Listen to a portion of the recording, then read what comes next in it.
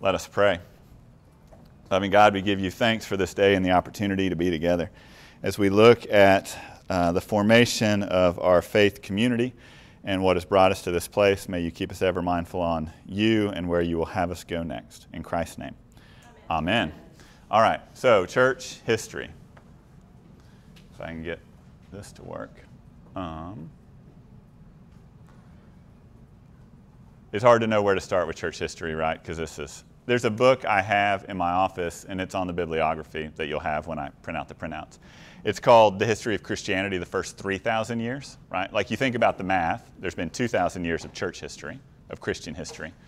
But um, this author takes it back because, like, we trace our history through the Jewish people. So, this is a really thick book. Linda Snow referenced it during our um, human flourishing class, and I was like, Wow. It's a really great book. It's long, hard to read. Um, you read it in EFM. Oh, is that what it is? It's great. I mean, it's kind of it's the textbook. It's what we had in seminary. And there's some smaller books that, that kind of breeze through stuff. So there's you think about you have the ancient church, right? This is like what Jesus left Peter, and they all set that up.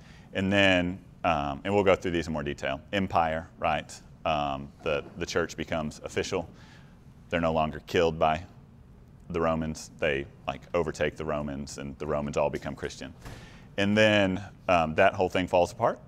The Roman Empire kind of crumbles, and we get the Middle Ages, and there's a lot that goes on in church history there. And then um, conquest, right? Like we try to take everything back by force, and so we have crusades and all of those things. And then the Reformation, which is where a lot of our story starts, right? That's where the Anglican Church springs up there. And then we get into motor, not modern. get the motor and um, post motor church. And that's um, kind of a, we'll talk a little bit more about this, but kind of a second almost um, empire. Right? Like you think about the 1900s, it was kind of a pseudo empire, at least Christianity in America, the way it functioned. And that whole thing fell apart in like the last 30 or 40 years after um, Vietnam, kind of where like institutions kind of fell apart. And that leads us to where we are today. So we'll dive into all of those. Before we start, any questions about church history, things that you've always wondered that you want to make sure we cover? Yeah. What's the difference between Anglican and Episcopalian? Yeah, so there's, that's a really tricky question. So Anglican communion. We'll get to that when we get to the Reformation. And also, maybe next week, we're talking about what is the church, like the structure of the church. We'll talk about that more. The Anglican church is, it comes from the Church of England. So the Church of England is our mother church. You think about the age of empire in like the 19th centuries and all that, when like England's conquering everything, basically. And um, they send out folks and and colonize all these places. And so there's Anglican churches that were started by the Church of England, including us, right? All over Africa, all over Asia, everywhere, including us. We we stopped being called the Church of England when we went to war with England, like in the 18th century, right? It was bad for business for us to, to pray for the Queen, or the King at that time, and to call ourselves Church of England. And so we started going by the name Episcopal, the Episcopal Church, which Episcopal is a Greek word that means bishop. So. Well, where the Anglicans go? I thought the Anglicans were right before the Episcopal. No, it's all the same. So we are Anglican, right? We're part of the Anglican communion. Like you think about the Roman Catholic Church, there's the Pope and, and all these things. We have a similar structure. We don't have a Pope, but we have the Archbishop of Canterbury he is the functional head of the Anglican Communion. He's a bishop in England. Um, and so all these churches are part of the Anglican Communion. This past summer, all the bishops in all the Anglican Communion, including the hundred or so Episcopal bishops in the United States, they all went to England and 800, however many it was, all got together. So that's the Anglican Communion. Here we're Episcopal. It gets really tricky in North Texas because um, this will derail the whole thing. We could spend 45 minutes talking about this. About 15 years ago, um, over questions of ordination of women, human sexuality, all these things, um, our diocese here split in two. We're still the Episcopal Church. The folks that left call themselves Anglicans. And the Anglican Church is fine with that, they're not like, they don't. No, No, they're they're not. Not. So it's a whole, we'll get to that next week. Okay, They, yeah, so if you go to an Anglican church around here, they would call themselves Anglican. They would say they're part of the Anglican communion. You go tell that to the Archbishop of Canterbury, and he would be surprised by that. Yeah, okay. He would not only be surprised, he would be angry. Yeah. They applied to be a part of the Anglican communion and were denied. Okay. Yeah. Over the fact that all these dioceses, the Anglican communion is based on uh, entities that are connected to that church. Yeah. Okay. And so they're, the benefit of being part of the Anglican community? Like, what's the, why are we like, gee, I really want to be part of them and they don't like us? that's uh, credibility. We'll get to that. We'll get to that a little bit when we get to um, the Reformation and stuff in here, and then we'll talk about it next week, right? Like we trace our lineage. We have bishops because we're connected to churches who have always had bishops. So Christine's sister is a bishop. She was laid hands on by bishops, who were laid hands on by bishops, who were laid hands on by bishops, who way back when were laid hands on by Peter, who essentially had his laid hands on by Jesus Right. right? And so that's called apostolic succession. The way we function as church, that's necessary. And so we need to, which became a real issue when like we went to war with the people who were ordaining our bishops. Right. So we'll get to that in a minute. Yeah. Before we get off this subject, I want to clarify Yeah. that the Episcopal Church, like the one we belong to, is still accepted by the Anglican community. Not yeah, I mean we're yeah, These absolutely. people Who split off. Yeah. That are not accepted. Correct. by the Ang- Because I was afraid there was some confusion. Right, Oh. no, I- I- Yeah. so No. So we're par- we're part of the Anglican communion. accepted by the Anglican So the, the, the Episcopals that said, no, we don't want what we all believe. yeah. They are not accepted, Yeah. even though they say they. Well, Yeah, it, it, it's really complicated. They're connect they're connected to Anglican churches in Africa that are a part of the Anglican communion. Okay. Right? And so it I'm just, I know, it's, Yeah, I, it's yeah, yeah. The Southern Cone and so Anglicans do believe in, you know, um, female pastors and. no? Episcopals do. You right in the Ang- but even in, in the Anglican Communion, not every um, province does. Right? You, It doesn't have to be the same. Like Then- Catholics were like, everybody. Yeah. No, we don't have. So Archbishop of Canterbury has no theological control over what it, like the Episcopal Church does things, and sometimes we do crazy things. Church in Canada does whatever. The churches in Southern Africa are more conservative, and so they right like we're we're actually in the minority, and on our views on um, human sexuality and even women's ordination. A little less so women's ordination now, but human sexuality, we're in the minority even within the Anglican Communion. Okay, but they don't reject us even though we don't believe exactly the. We'll get to the via media, and like we can, faithful Christians can disagree about things, Right, right. and yeah, and so, yeah, we should do a whole thing about. Um, no, it's great. So let's go back to when they used to fight about things again. So, but this is the ancient church, right? Like Peter gets left this thing and they're like, go build this church. And they try and they go out. And then, the, like, the very first thing they do is they come back and they say, there's all these folks who aren't Jewish. Do they need to be circumcised? Right? Which is kind of like, can we ordain women? Can we marry same sex folks? We're going to figure it out. And so Peter and Paul get in an argument, and like the very first church council that happens really early on is like, do these guys have to get circumcised? Um, and so that happens. Like, and they were getting killed. Like this is the early time. Like Stephen, the first martyr. You know, all of these things is happening right after. And then this is where we get the church fathers, right? Like, because there's a lot of work done here because people were running for their lives. Um, it was very, very dangerous to be a Christian. And they're also trying to figure out, like, Jesus didn't leave us a lot of theology, right? Like, basically, none of our developed theology is in the Gospels because Jesus, love your neighbor as yourself, and like, good luck with the rest of it, right? And so, like, the church fathers, they do a bunch of thinking about what is the nature of the Trinity, which Jesus is probably like rolling his eyes, like, guys, you're really missing the point. but these are important things for us to think about. So the church fathers, you've probably heard that term, and then apologetics. Apologetics is making a defense for your faith, right? This here they're making a defense because they're all on trial, literally on trial, and so they're making a case. It later became, Bob, can I tell you about why you're a sinner and why you need Jesus? Right? Like that's what apologetics became is like telling, you know, the proof of Christianity. And so that that happened at first. It's kind of interesting. And then the Edict of Milan. And this is when the emperor snapped his fingers basically, and Christians were no longer killed because it was now official. And so in 313, um, Emperor Constantine, right, he was on a battlefield and he had this vision of someone carrying something that to him looked like a cross, and he's like, God, if you save my life, I'm going to become Christian. And he did that. And um, Constantine, basically made, he was converted, he made Christianity the religion of the state. And so at that point, like everything switched. You were no longer like this incognito band running for your lives. Like now, we have money, we have power, we have authority, we have control, we have all of it.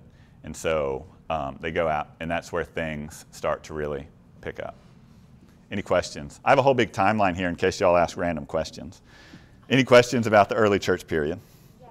Yeah. So since Peter was told by Jesus, like you're going to be the rock of Mhm. the church. I know there's First and Second Peter, but then a lot of our New Testament, New Testament is Paul. Yep. Are there other Peter writings that just didn't get put in the Bible? Probably. Yeah. I mean, he was busy out there, like setting up the structure and like leading the people, right? Like, and he did a lot of preaching that people wrote about. It may, frankly, be that he was illiterate. Like, there's the thing, right? Like, Paul talks about, Paul had a scribe, John Mark, right? Um, but you can even see in Paul's letters, he said, Look at what big writing I have. That's his way of saying, I'm actually writing this part, which probably meant he had really crappy handwriting, which means he would have been the one who was pegged last night in the murder mystery dinner because the handwriting gave it away. But there, right, like not everyone knew how to read and write, right? And so that may have been a thing. Um, but yeah, so Peter, that's why um, the, the Pope is like the see of Peter, like the throne of Peter, right? Because the Pope for sure traces his lineage all the way back to um, Peter as the first Pope. Yeah. Any other? Yeah. I don't, I don't know exactly what the specific of this is, but in my head, this is the period where things start to get real muddled. How does that transition happen? Like, how much, Muddled in what way? like, how much Roman Empire did we get, and how much Christianity did they get? Does that make sense? We got a lot more Roman Empire than they got real Christianity. everything I wear in there, every, literally everything, is a product of Roman dress. None of it is like Jesus said, take this stole, or Jesus said, take this chasuble. This is like what the royalty wore in the empire. And they're like, oh, we're going to take it because it's pretty. None of it, right? And like, that's a whole nother thing. Seriously, Jesus, Wearing a toga. yeah. Well, that now that goes back. Some of that, the the alb, the white thing, that does go back to it was a baptismal dress. Uh, even Jewish folks who were being baptized, and so there, it's that it's that idea of it's the very basic thing. But you, then you put on all this other stuff, and it's tools of the trade that was stolen from the empire, right? All of it, like the cathedral system, all of it is like this is how the church governed. I mean, this is how the empire governed. And so, yeah, we're going to figure out how the church can do it too. We do it, the Episcopal Church. Like when we set up the Episcopal Church, I'm spoiling it. We have a bicameral legislature, right? Because we were founded around the time that, you know, the founding fathers had this great idea about separation of powers. So we have a House of Bishops, we have a House of Deputies, right? And so we're even taking from like the American Empire in the way we set up our church. Not every Anglican province has that. So how, Go ahead. Yeah. like, who was, what church leaders were around? I I guess I used to cover city government for newspapers and stuff like Yeah. that. Interested in like the, like, who was the one, who was in charge of the church when Constantine like showed up and was like, hey, you're good now? Or was it just Constantine said, this is what I think Christianity is, let's roll? It was pretty dispersed, right? Like it was a bunch of house churches, right? Like James set up a church in Jerusalem. You know, Peter goes here. Paul sets up all these churches, right? Like, you know, Timothy, who we've been preaching about, that's the church in Ephesus, right? Like these letters that we read in church, like those are the churches that there were. There wasn't really an overriding structure. Do we have any of those, like, are, are any of the, uh, all-stars in the cast that we still talk about, were they around at three thirteen? Like, was there any sort of, Um, like, I don't think Peter was there, right? No. Was there somebody they like called in in Rome? Wasn't James, you know, it wasn't Paul, but was there someone that Um, we know was in our Bible? uh, one, I'm trying to, there's not big names. Diocletian is one. Like he was burned at the stake, essentially. Um, you know, in all of this, like that's a big name from that kind of 300s period. Um, and there's the thing is a lot of folks were there and they didn't become big. Athanasius, right? Like he was around. He was born in the late third century, and so he was around and practicing. He's a name we know because he becomes really important here in the councils. Athanasius, other people around then, Saint John Chrysostom, like all these people that we hear. In the Episcopal Church, we don't spend a lot of time talking about those folks. We we lose out on some of that. The Orthodox Church is really big into the church fathers and mothers. There were church mothers then too, but um, Justin Martyr was like a second century guy. That's a name people know. Um, How far after like the heavy, like the Nero heavy persecution is this? I don't know. wasn't that in like the 90s? I think. Yeah. Um, I'm looking at my thing. I didn't know this was going to be a pop quiz. Um, yeah, some of these other names, Ignatius, Polycarp, like John the Apostle died in 100, you know, and so people are extending out then. Um, Is that the same John that is thought to have written Revelation? Yeah. that time in the 90s? Yeah. Well, there, the Gospel of John, the letters of John, and Revelation, there's some debate over how many Johns there were. But generally, John from Revelation is the Apostle John. Tradition says that. And so that's the thing. Like, we say all these things, like Peter or Paul wrote all these letters. Oh, you probably didn't. We talked a couple weeks ago about biblical criticism, where we've learned scientifically how to understand things better but tradition, and tradition is the church fathers and all of that who say they had a pretty good handle. Um, but maybe not. Maybe it was someone from their school of thought. And we talked about that during the Bible stuff. Then um, things become official, and then we can organize. And then it becomes we've got all these places out here the church James set up, the church that Peter set up, the church that Paul set up. You're all teaching a little bit different things, right? Like we don't even know if people need to be circumcised, right? We don't know what kind of foods people need. We don't know any of that. And so now we got power and money, and we can travel freely. And so we're going to bring everyone together for councils, right? And so there's, depending on who you talk to, there's like seven ecumenical councils. There's like 11. There's more, like depending on if you're Orthodox or Catholic or, or whatever. Um, so they all get together and then um, decide the things, like things we do every day. The books in the Bible, right, generally comes out of this period because someone said these are the 66 books that are helpful and kind of case closed, right?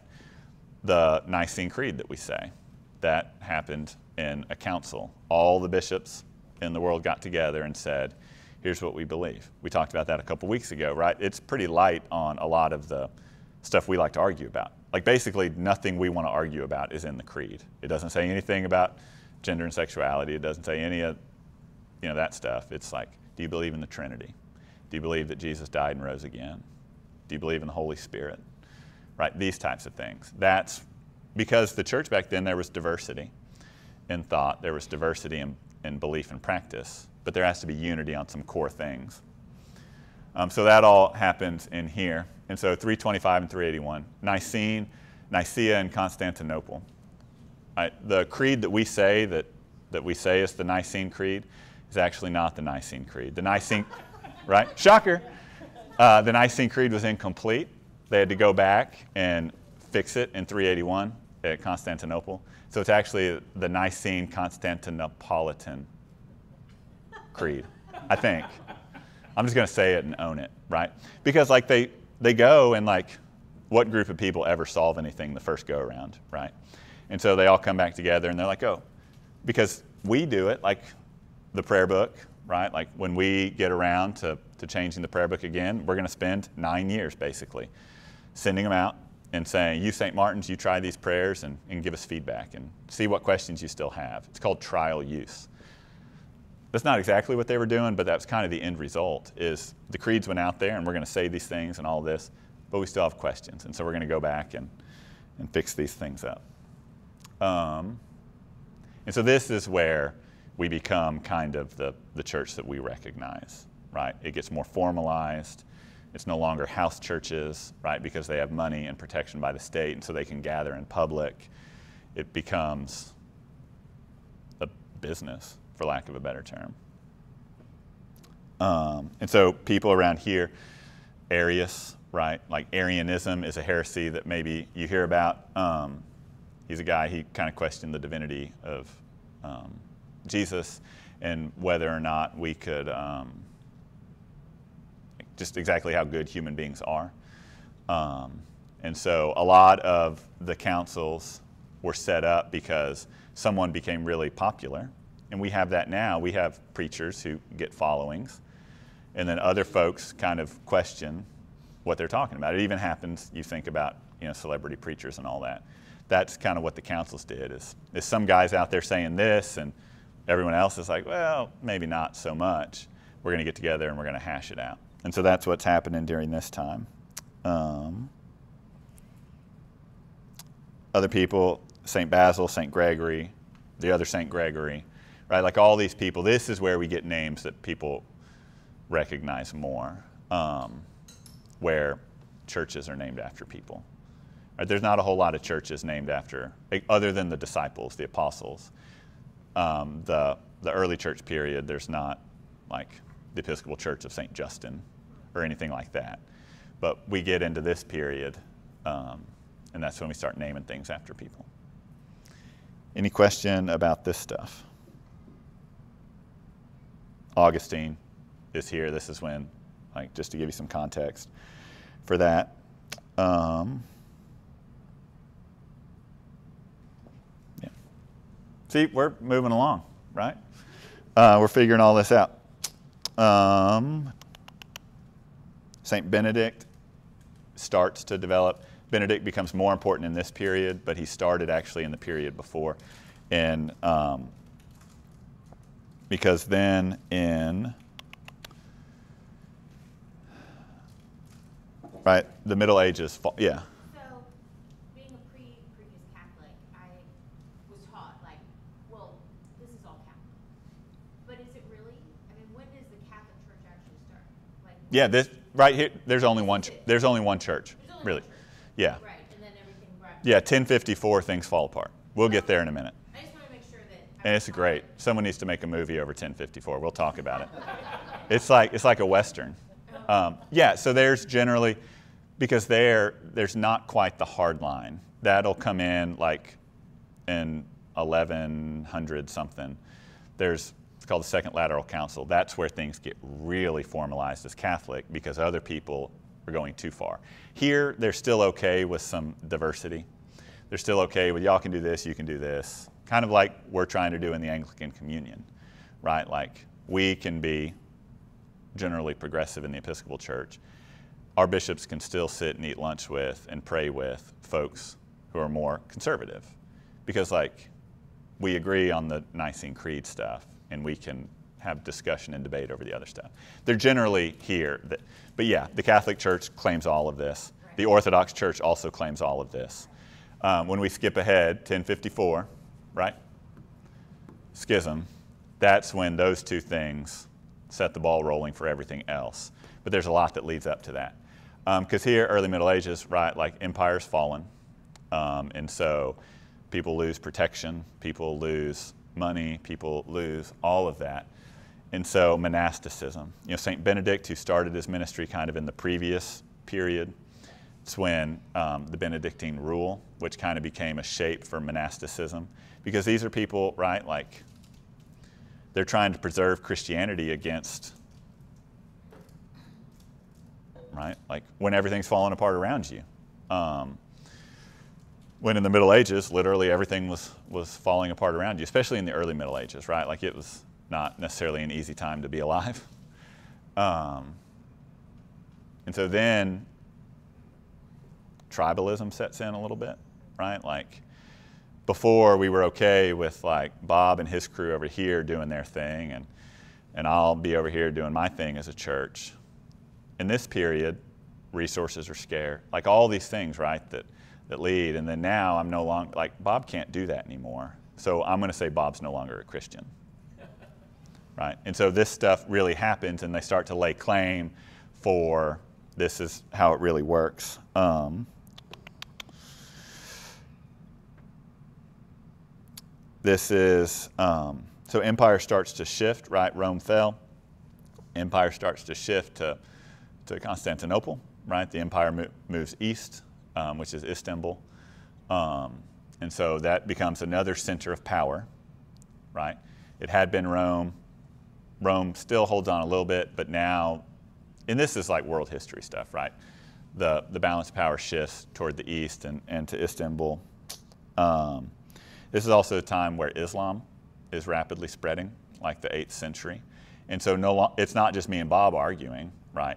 It's the, the Muslims um, who we're at war with, right? The Muslims kind of violently inflict, and I, I can say that honestly because we turn around and do the exact same thing, right? We're not innocent here. And so there's, right, like everything, all the protections, all of it falls down. And so they're trying to figure out, becomes competition over resources, over power, over all of it. So they're no longer amassing like they were in the empire stage. Now they're trying to protect. One thing they do there's a group of, of people, I think, in, in France who they were probably trying to combat a heresy, right? Where someone over there probably started preaching that like the Holy Spirit was um, less than, right? And like questions about the Trinity, because like no one understands it, whatever. And so, um, and this is, um, it becomes pretty popular. And so they take the Nicene Creed, which everyone had agreed on. Actually, the Nicene Creed that everyone agreed on, or even the Nicene Constantinopolitan Creed that everyone agreed on, that still isn't what we say on Sunday mornings. Shocker, right? Like basically all of church history can be summed up by the Nicene Creed, right? Because when we say, I believe in the Holy Spirit, I forget whatever, that proceeds from the Father and the Son. and the Son isn't in there. We say it, right? A lot of people say it, but that clause is called the filioque, right? And the Son, right? And so these people in France, sorry, they weren't debating the, the supremacy of the, the Holy Spirit, they were debating the supremacy of Jesus, right? Like this is where does Jesus rank in the hierarchy? Because if the Holy Spirit proceeds from the Father, what does that mean about Jesus? And so these folks, they're probably trying, in good faith, they're probably trying to say Jesus is part of the Godhead, whatever. And so they kind of kindly add in the Holy Spirit proceeds from the Father and the Son, right? Be- that actually changes things, right? Like the Father is like the source of everything because, like, Jesus actually proceeds from the Father. He's begotten, right? Can something begotten also be part of another begotten? Right? This is something that really makes your head hurt. But the other problem, like the theology is not the, the theology is important. Kind of the bigger thing that really ticked everyone off is that there was a group over there that just snapped and did it. They didn't say, we all need to get back together and debate this. They were all over here. Bob's over there in the corner telling all his little Bob buddies, like, we're going to start saying, and the Son. And so then it gets around, and they're like, yeah, we're a, we're a conciliar church, right? That means we make decisions in community, we make decisions in council, which we are, we have council. Um, they're not doing that. And so that becomes a real problem with the Eastern church because it was mainly folks from the West, right? the people that are still clinging to the Roman power, that do that. The folks in the east, Constantinople, Istanbul, they're like, yeah, I'm not so sure about that. So then we get a showdown in Hagia Sophia, the Church of Holy Wisdom in Istanbul. It's a beautiful place. I should have brought a picture. There's a whole story about that that we'll get to in a minute. And um, there's a, I forget their names, but it's in the middle of a Eucharist service, right? And so one of the Eastern, I think it's the Eastern um, patriarch, who's set up in Constantinople, he's there celebrating. This Roman guy comes in and basically said, they're arguing this whole time. He basically says, You're excommunicated. And the guy like stops everything and says, No, you're excommunicated.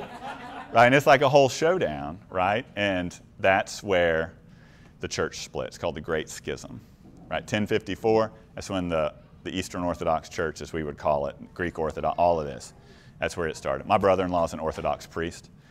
Um, and so the Catholic Church, that's where, if you see timelines, I may have one on here, you'll see timelines of denominationalism. There's one big line for 1,000 years, and then there's two lines for three, 400 years, and then it branches off forever. There's always that one big line, right, because the Orthodox Church is going to say we're one continuous line.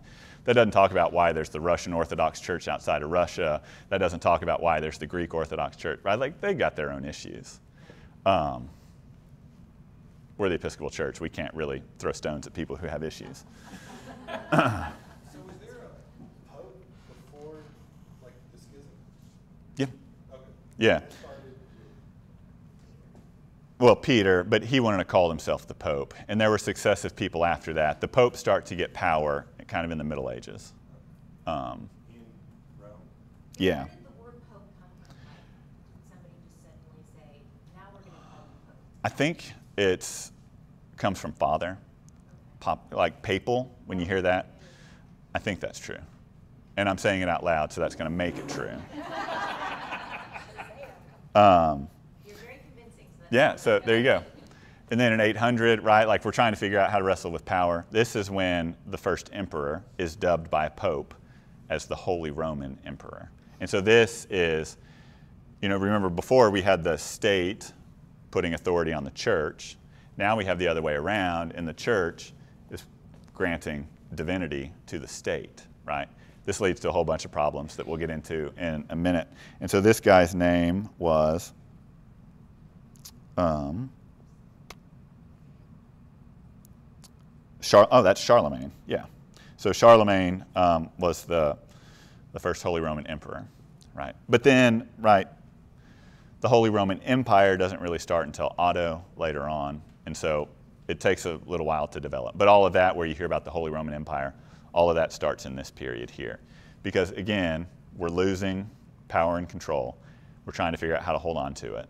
And like, basically everything happens because of either money, power, or control. No.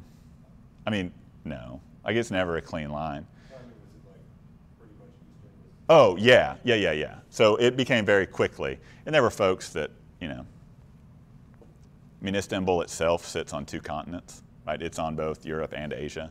And so it's a, it's a weird position. But yeah, it became pretty clear early on the folks that have more allegiance here versus the folks who have allegiance there. And then it develops from there. still, they still don't say and the son? Hmm. Interesting. If, if and when we have a new prayer book, I think it'll be taken out of ours. Yeah, we've agreed because right. My whole life, I know, been saying it. I know. If you look at, we have some liturgical resources. You remember that big stack of things that I brought in last week? In there, there's creeds that don't have it in there, and you'll go some places and they'll say it without. If I had my druthers, we wouldn't say it. Not as a theological thing, but like this, like we're going to follow the rules of how things were established. We're going to stand in solidarity with our brothers and sisters around the world that do it a different way. Do you think that they added and son because people were trying to say, well, the Trinity is the Trinity? Mm. Oh, it was all It was all of controversy over heresy. People were probably saying like Jesus was just a guy or whatever. And and they were like, no, like he's uber important, right? He's equal with God. But then what does that say about the Holy Spirit, right? Because if Jesus and God are so important and they do this thing with the Holy Spirit, then you've got a whole thing about that. And that's why people just need to like just let the Trinity be weird. Yeah. Right? Like we're not going to figure it out. Did we figure out which one's more important? Moving on. The Godhead is more important. All of it. I can't tell you how that is. Then we get the High Middle Ages. This is scholasticism. This is crusades, right? Now we have the Holy Roman Empire. Now we have like a cause to go after, like make Rome great again kind of deal, right? Like, I mean, that's what it is. This is an operation. Like, we're being sacked by um, Istanbul. I mean, we're being sacked by Islam, right? So we're going to turn around and go take it to these people. Also, it's a church growth strategy, right? Like back here, church growth was like at the tip of a spear, which like I'm all for that, right? I'm going to go out on 1709 and be like, stop cars and be like, no. So all of this is happening in here. Um, and so this is where it, this right here is why people can't be Christian today. Like the source of it is all here. Like arguing over random theology stuff like that. This is where we like start killing our enemies. It's like if you go back to the very first church history when Jesus said, "Love your enemy, good luck with all the rest of it." Right? Like we started to focus on all the rest of it and forgot that bit because like Well, it's the money. It- the money Yeah. just messes everything. Yeah, I mean, the Crusaders were protecting trade routes, right? Like, talk about using the church for things, right? Like, you know, like modern banking was set up because the crusade. Oh my God, Walker, you sneeze so loud. Bless you. Right? Like, they had to protect trade routes between all these places. And so the Crusaders had to figure out how to get money from everywhere and how to calculate it. So, like, modern banking goes to here, right? So, like, you know, I joke that like the Enlightenment is the downfall of everything. We could also go to like the Crusades, is literally all of it. This is where um, empire starts to, to rear its ugly head again. The papacy becomes the papacy, as in papal infallibility comes up here, right? All of this stuff, which is why it'll lead to Reformation in a minute because the papacy starts to get all this power. Um, Fourth Lateran Council. Um, this is where like the seven sacraments become. This is it, right? This is where um,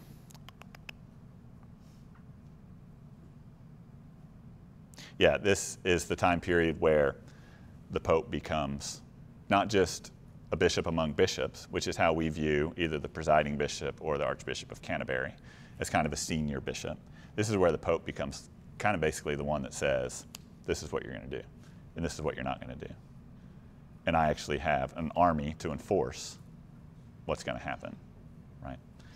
That all happens in here.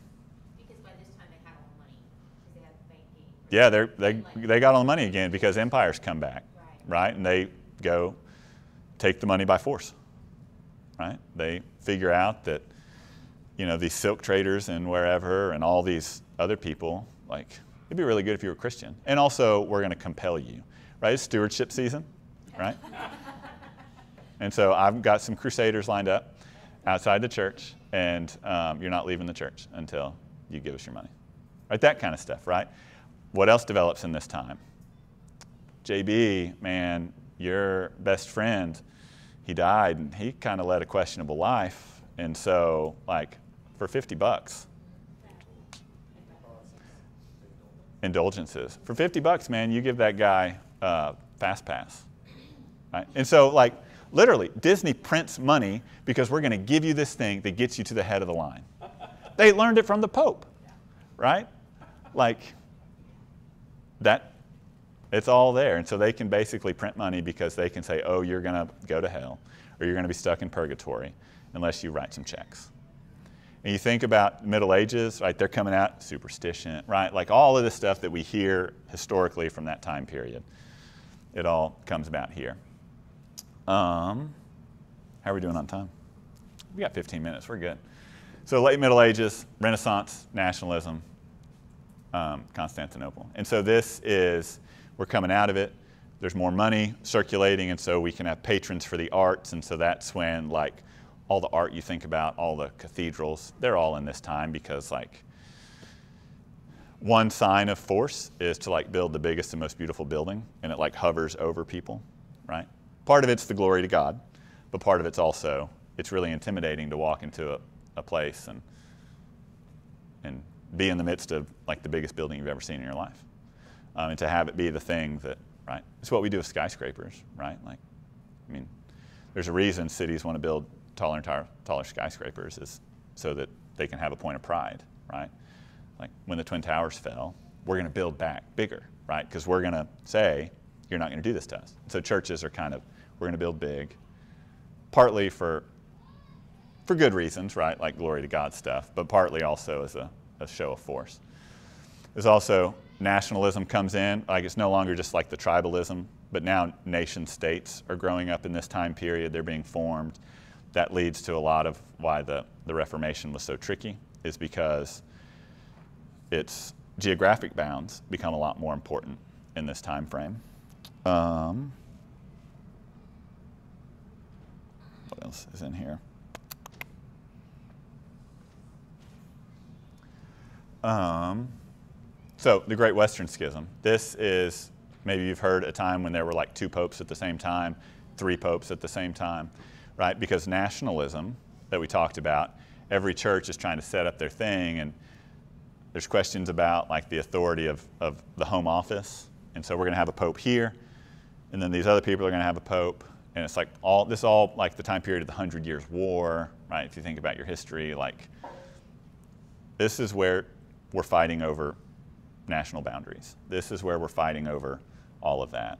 Um, and part of that is you get a pope, and you get a pope, and you get a pope. It's, you know, we're trying to figure that out. Um, Kind of like the, the, uh, the Revolutionary War and the stuff, kind of like, if we're all warring. we- yeah, yeah, kind of like we need our own thing, and we actually don't trust the authority of this place. And so, you know, there's competing kings, right? Like, there's a bunch of kings at this time period that, that are figuring it out, and like, if you have a king, you need a pope. And so all that happens there. And then we get to um, conquest and reformation. Um, so, 1453, the start of this 1454, that's when um, Constantinople fell, right? Hagia Sophia, right? This beautiful building. It's my favorite place in the entire world. Um, you stand in there, and it's a mosque now. When I was there, it was still a museum, and that was seven years ago. It's since it was a mosque for hundreds of years. After this, they took it by force, um, and now it's a mosque again because Turkey's going through some authoritarian stuff. Whatever, it's a tricky thing. But you go in there, and there's some of the most beautiful mosaics, like images of Christ. I should have brought the pictures. You've seen them, like they're chipped off, like because um, they went in there and the Muslims thought that if Jesus is God, we can't put a face on God. And so that's one of the things. And so they chip off the faces of these things. And so you go kind of all over. When I was in Istanbul, we went and we obviously look like Americans. And so the first night we're there, we go into a church and, and I mean, into a mosque, and there's a, an imam there who, like, after the thing, comes and talks to us and very gracious, very hospitable. He wants to show us around. Super nice guy. And he goes into all these places and he's like, look, this used to be a church. And he points up and we can see like where they desecrated images of Christ. Right? And so this guy, he's just, right? Like, what if I took him to a mosque? I was like, that's where he blew a hole in the door. Right? Like, it's a similar, he's trying to be very gracious. And, you know, 700 years later, like, you know, we've, I've worked through this issues. And so I can be in that place, but like it still exists. Like there's the places there that like they took it by force. We did the same thing and we sacked all of it and burned it all to the ground. And Was it that they wanted to like get rid of, because they don't believe Jesus is No. God. They just wanted to get rid of Yeah. the other or whatever. Yeah, and they left part of it there as a show of force. Okay. So- They didn't want to completely plaster over it because they wanted anyone who walks in there to see we did it before, we'll do it again. Yeah, because just talking about it. Yeah. And so there's, um, not in Hagia Sophia, but in another church when I was in Nicaea, we were in a church in a, in a mosque that used to be a church, and they were showing us the baptistry, right, like which used to be behind, and we're trying to leave to whatever. They put up a thing, and there's a security guard there who makes us stop, and so we have to sit in like this baptistry for an hour because they're doing Muslim prayers, right? Which we were there first, right? Like literally, and right, like so like these issues now it's comical and we can laugh about it, but like here, um, which led to some of this or the period before, Constantinople fell and like all of it in a heartbeat was gone. Where were the Jews in all this? I mean, you're talking a lot about Islam and Christianity, and it's like the Jews were silent in that? Yeah, I mean they weren't. Yeah, they didn't have weapons, right? Like they didn't have crusaders or they didn't have uh, the I forget the. Yeah, nothing had changed for them. They were kind of a small, and they mostly centered around the Holy Land still. There's a lot going on there. Like there's been war in the Holy Land. We're not even touching that. Like that, like the wars in the Holy Land have been going on forever. And we could teach a whole class on just how those three faiths there have fought forever. This is all the stuff outside of it. And so the, um, the Jewish folks mainly centered around there. There's just not enough of them to, to So impact. based around the Eastern Orthodox Church, or is this even towards? Well, this at this point, um, like the fall of Constantinople, that's the Orthodox Church. But it's also right, like this is a show of force by this thing out there, and so that's happening parallel to. uh, So in the East, they're fighting the Muslims. In the West, they're fighting greed and papal supremacy, basically, and then it all kind of falls apart. And so then we get like the 15th century, the Reformation starts, and this is where someone like Luther reads the Bible and realizes you people are crazy. And so we're going to do a couple things. Well, we're going to do 95 things, and I'm going to slam them on the door, right? The 95 Theses. And in there, it's, you know, all sorts of stuff. He really um, ticks off the Pope, and um, there's some back and forth. Luther had a good buddy who, like Johannes Gutenberg, who could like print things, right? And so they were able to like circulate, and so things could go viral, right? Like they could get these ideas into people's hands um, pretty quickly. Things like the Bible in their language that they could read, right? Luther translated the scriptures. The idea of grace alone, not the 50 bucks JB's going to pay me for his friend, right? Um, Luther wanted to reform the church. I think he would be displeased that he created a whole new thing, right? That wasn't his intention. Um, but even here, it's, it's nationalism, right? So Luther, like the Germans, they're the Lutherans, right? And then you've got like Calvin and, you know, these folks who become like Presbyterians. Because, and it's a national thing. We got our own because we have this king, right, who needs an heir, right? So now we're getting to really how our church formed. We had a king who needed a son, and his current wife couldn't give him one. He was Catholic, and so he couldn't get another wife to give him a son. And so then he's like, hey, Archbishop of Canterbury, how can we work around this? And the Archbishop of Canterbury, who had been reading and seeing what Luther was doing in reforming the church, took this as an opportunity to be like, oh, here I've got a patron who might actually fund this whole thing to like set the church right. And so it's a marriage um, of, of someone who needed something from the church and a church who needed an opportunity to try to reform. So that is how we came about. So you hear the jokes like the Episcopal Church started over a divorce. It's partly true, right? Um, that discounts the role that like Cranmer and, and those folks had. Um, but that's the English Reformation, right? There's the Lutheran, there's the Continental Reformations, which is like the, the main countries there, Scotland, you know, all of that stuff. Um, Is there a period besides the first one that wasn't kicked off by an emperor or a no, Have we started a new phase outside of corruption? uh, no. I mean, we're humans, right? Like, either we had to figure something out, um, and so, I mean, maybe like the the fall of the empire, right? Like that wasn't necessarily caused by corruption, but that was caused by like the failure of the state. And so people run off and set up monasteries. Like, you know, the, the early Middle Ages, right? Like there's a ton of stuff there. It was kind of, there's a book, who wrote it? It's called How the Irish Saved Civilization. And it's this idea that like these folks, like when the world was crumbling, when Rome was in upheaval, these folks like ran to the Irish countryside and like, we're going to preserve it. We're literally going to save books, but we're also going to keep talking about ideas so that when like the dust settles, we can do that. And so that's a period there. Everything else, yeah. Um, it's basically caused by corruption. So here, Elizabethan settlement, I think I mentioned that before. Remember the first couple of, of kings and queens, right? Like um, King Henry was Protestant or he needed a divorce, one of the two. But then his um, Queen Mary was Catholic, and so the church swung from a Protestant side to a Catholic side, back to a Protestant side. It kept swinging back and forth. And then Queen Elizabeth was like, we're going to stop this. And so the Elizabethan settlement set us up as we are going to be an Anglo Catholic church. We're going to be Anglican and Protestant. We're going to be Catholic and universal. We're going to figure out how to be both things at the same time. Like adults can hold two competing thoughts in their head? All of that. We're not going to kill each other over things. It's called the via media, this idea that we can be Protestant and believe grace alone and the authority of Scripture. We can believe those Protestant things. We can also be Catholic, and the priest can wear dresses, and we can have candles and smoke and, and all of that.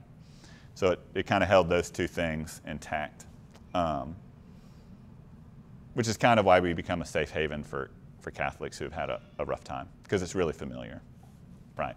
You walk into our service, and it looks similar. Almost verbatim. Yeah. What y'all say. Yeah, right. Whereas, like, if you go to other churches, it's it's not going to be that way. Yeah. Um, and so that, you know, 17th, 18th centuries, we got to race through these because we're running out of time. Nothing really big happens here. Uh, revolution, right? This is where like all the countries are like, we're going to throw off our rulers, and so we obviously care about the American Revolution. This happens in here. Revival happens around here, right? You got all these bored people on the countryside with nothing to do except try not to die of dysentery. They're like, we're going to start, you know, having revivals and all that. And then part of that, the Puritans spring up, right? And it becomes a whole deal. Our problems today are the fault of these people, right? Like basically, um, kind of fundamentalist, um, you know, that those kind of ideas that, that we somewhat struggle with can trace back to the Puritans. Sinners in the hands of the angry God. Jonathan Edwards, right? He was a barn, storming preacher back then who would go around, and it's this idea that like it sparked this revival because you're going to these people and saying like, life sucks and you're going to die, accept Jesus as your Lord and Savior. And for people like, life sucks and they're going to die, right? And so they need to grasp onto something. 17th, 18th century America was a really hard place, right? And so they're latching onto this. There's the spirit of revival. Um, so that came up in that time. 19th century, this is another age of empire, right? This is when all of Africa is divided up by the powers and it's colonized, which is why some African countries are um, Presbyterian, some are Anglican, some are whatever, because literally people got together and said, you take that country, you take that country. And that, like, like the apostles went to Africa, people, right? Like there's Christians in Africa since like any of this crap existed. But, you know, we're the white people. We have the answers. I mean, that's literally what it is colonialism, right? It's not just political, it's also happening here. Marxism is rising up, modernism is rising up. This is when a lot of things, right, like the 19th century, like these ideas that like has led to our downfall. John Nelson Darby, he is kind of the, the creator of um, dispensationalism, like end times theology. Like there's going to be half of us in this room that get like sucked up someday. That is from like the mid 1800s. Like this idea, like left behind, all of that is relatively recent. And so people think like, oh, this is getting back. It's that guy's fault. 20th century, we're living this. Evangelicalism springs up, Pentecostalism. It's another type of um, revival, and a lot of it is battling against postmodernism, where like we we have science, so we don't need faith. We have um, shucking authority, things like that. Billy Graham's First Crusade, right? That's kind of a, a turning point in all of this. That the rise of, of the evangelicals, the rise of the Christian right, all these things that kind of define the 20th century. And then here's 325, you were asking about that. Here's like all the different where the churches were set up, and you can see centers of dioceses, borders under. So even in 325, it was messed up. Um, I'll have these printed up. Here's early church history. You can see just how, you know, crazy this is with all these different things going on. Here's the timeline, right? Like the one Holy Catholic Apostolic Church. My brother-in-law's Orthodox. Orthodox think really highly of themselves. So it goes all the way. No, but like they say one Holy Catholic, and then at this split, the Eastern Orthodox Church, of course, they're the ones that continue that line. And then the Catholic Church, sorry, Daryl, I love you. Um, and it all spits up here. Here's missionary work where it started. And like missionary work here, you know, right? In 364, there were Christians in Germany, right? It didn't take like settlers to bring Christianity to Germany a thousand years later or any of that. Asia Minor's covered all of it. Um, it gets through all of that and we're done in 45 minutes, 47 minutes. Any questions? I'll have those. The Church of England and the Anglican Church are the same. The Church of England is part of the Anglican Church. The, Angli- the Anglican Communion is a worldwide collection of churches. The Church of England, the Episcopal Church, the Anglican Church in Canada. Ang- Anglican is a term that most other provinces use for the churches that were started by the Church of England. Oh. We don't because we went to war with Anglicans, and so we changed our name. But if you hear Anglican Church of Canada, Anglican, whatever, it's all part of the same group. Yeah, they're not completely interchangeable, but they're connected.